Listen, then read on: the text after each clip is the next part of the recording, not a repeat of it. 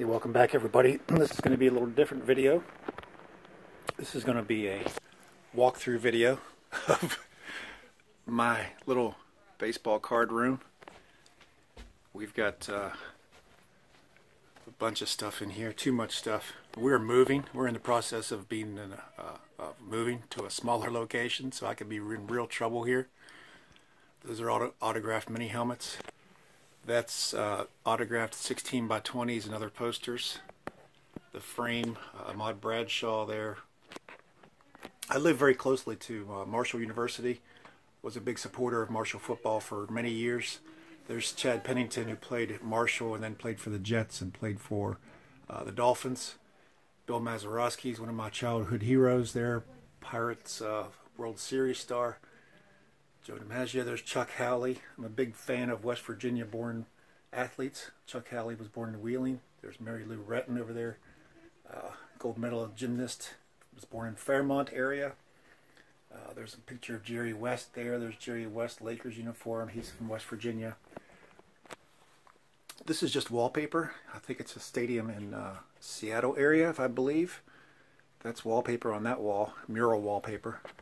Here's more 16 by 20s. Randy Moss was born in West Virginia, played at Marshall. Troy Brown played at Marshall, won a few rings with the Patriots. There's another Randy when he was with Marshall. Ahmad Bradshaw played at Marshall. There's Chad with his Marshall jersey on.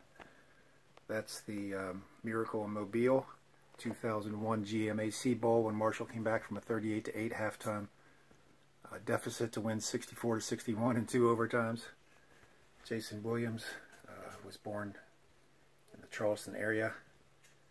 Byron Leftwich played at Marshall. There's Larry Bird, just one of my heroes. Mike Bartrum down there was a long snapper for years for the Eagles, played at Marshall. There's my man Ted Williams. And there's some cards, game used swatch relic cards with Pennington. Oops, game used swatches with Leftwich. Two back-to-back -back quarterbacks at Marshall University. Both played in the NFL for years. But this is a mess right here, guys. My best cards are kept in here in this cabinet. All this stuff is going to have to be moved. Very sad. but this was my, the entire room was filled with cards. Over on against that wall was a large cabinet filled with boxed cards, similar to what you see there. That's it, guys. That's the walkthrough. Sad but true, we're leaving in just a couple days. All this is going to have to be taken down and moved to a different location. We got a storage unit for temporarily until we build a new house and then we'll move on from there. Talk to you soon guys. I'll pause it for now and hopefully be back.